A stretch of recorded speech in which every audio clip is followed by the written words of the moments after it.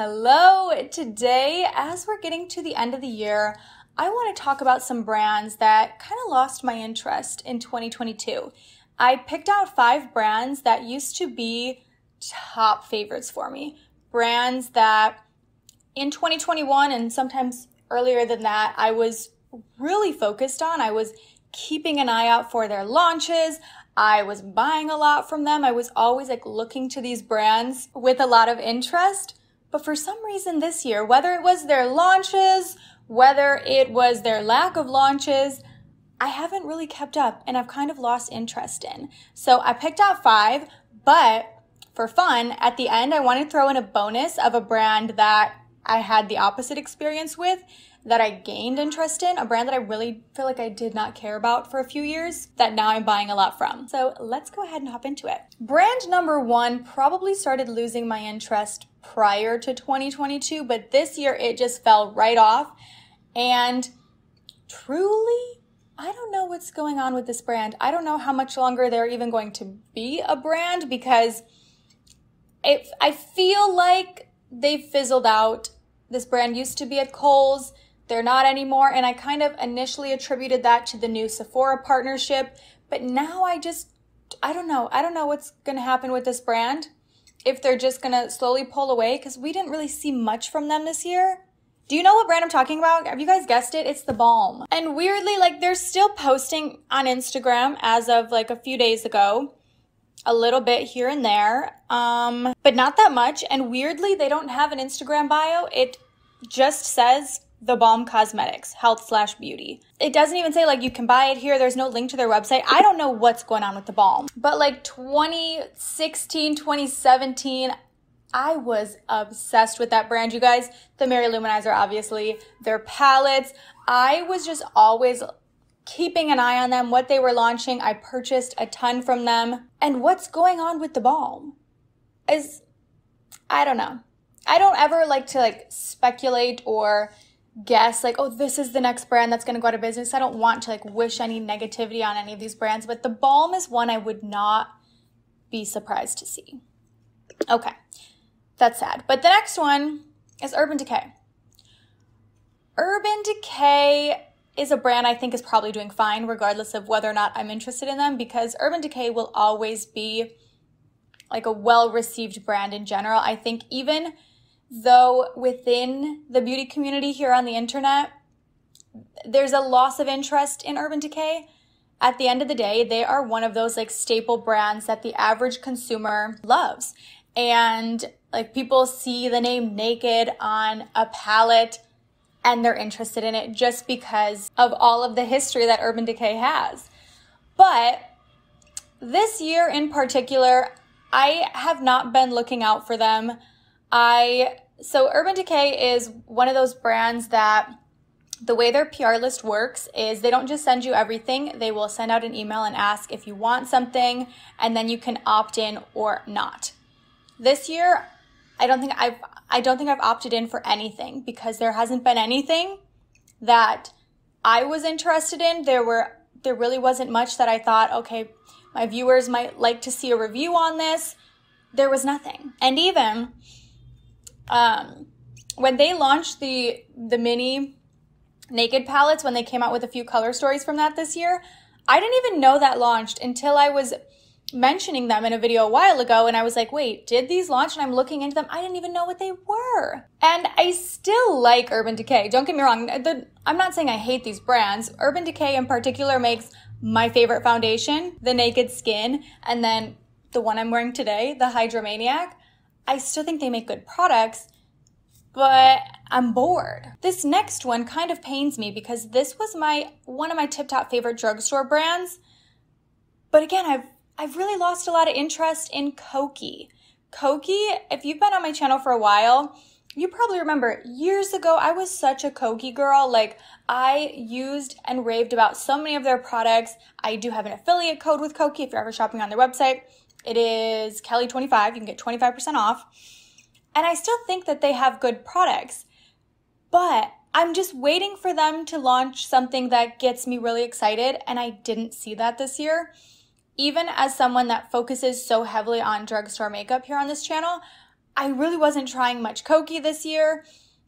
I, I don't even feel like they launched that much, which I don't think is necessarily a bad thing. I don't think you need to launch a ton of makeup all the time. I actually prefer when brands don't.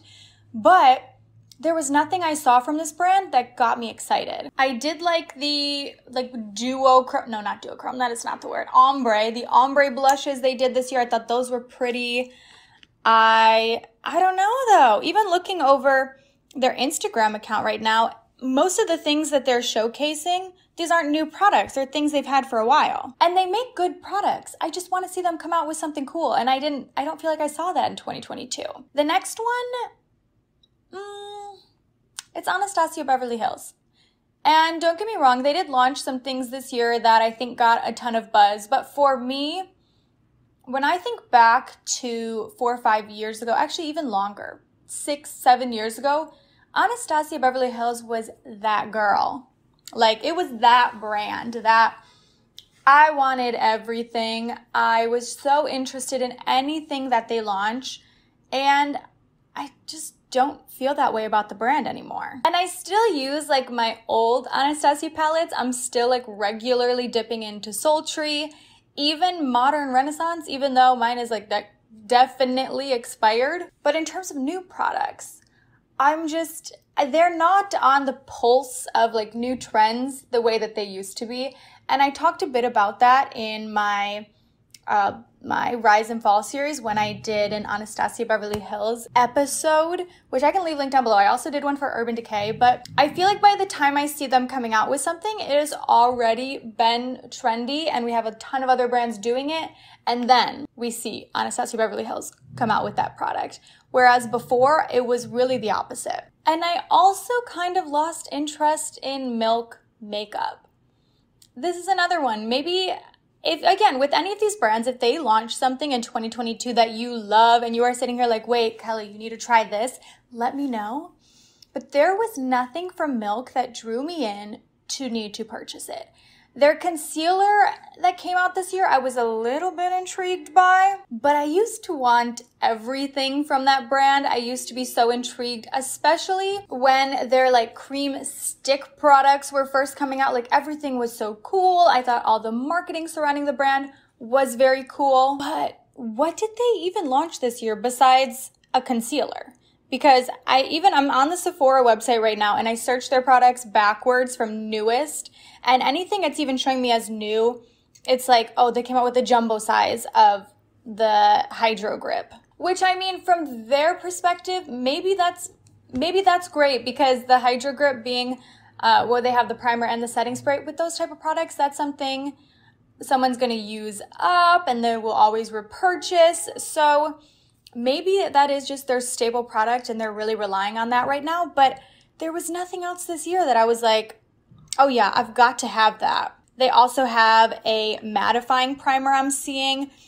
It's just like I guess the way I would describe it, I'm seeing so many versions of the Hydro Grip because they've they've done it all. They have the setting spray, they have the primer, they have the eyeshadow primer, which is terrible. They have different versions of it, and it reminds me of it's like I would best describe it as the pillow talk effect or the NARS orgasm effect or the Urban Decay naked effect. Like any of these brands, they have that one staple product and then they just cannot seem to drop that name. Like everything is gonna be the Hydro Grip. Like I'm sure next year they're gonna come out with like a cream eyeshadow and call it like the Hydro Grip cream eyeshadow that won't move. Like when something becomes successful for a brand, they just run with it.